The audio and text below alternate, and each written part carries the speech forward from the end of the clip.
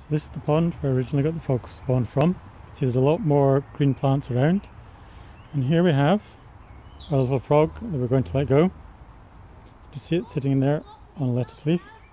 So what we're going to do is find a nice patch for it. Over here. I'm just going to set the camera up. Okay, and take the lid off. Take out the lettuce leaf.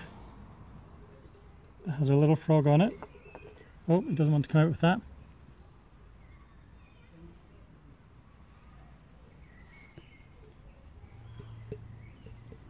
Okay, he's being very persistent.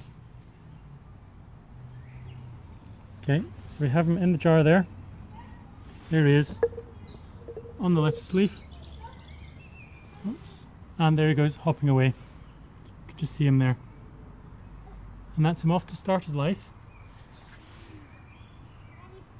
as a fully formed frog.